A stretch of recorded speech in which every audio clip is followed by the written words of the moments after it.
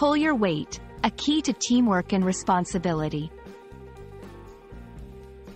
Hello, everyone. Welcome back to our channel.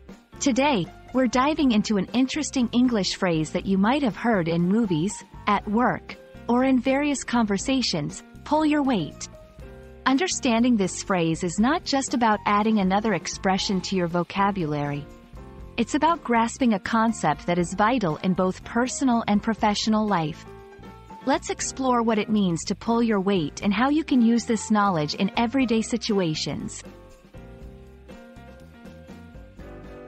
Pull your weight is an idiomatic expression that means to do your fair share of work in a group setting. The phrase originates from the idea of everyone in a team pulling together on a rope or some heavy object, where each person must contribute their effort equally to achieve a common goal. When someone is said to pull their weight, it implies they are fulfilling their responsibilities and contributing just as much as others in the group. Pulling your weight is crucial in many aspects of life, especially in work, school, and personal relationships.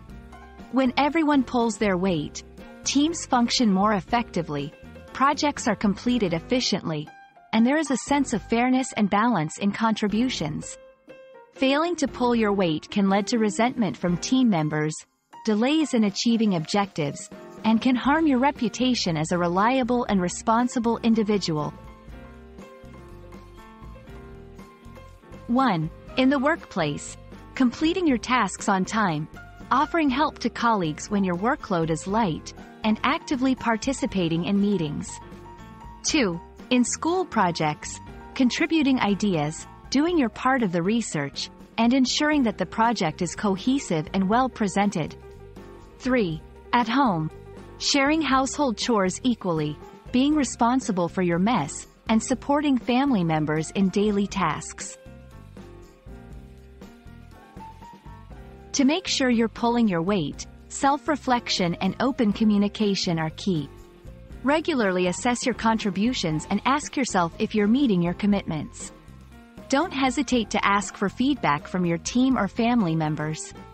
If you find areas where you can improve, take proactive steps to increase your contribution. Remember, it's about making a balanced effort in line with what's expected from everyone in the group.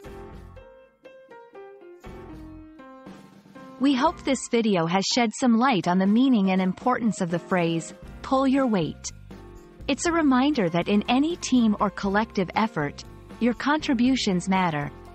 By ensuring you're pulling your weight, you're not only upholding your responsibility but also strengthening the bonds within your team or family.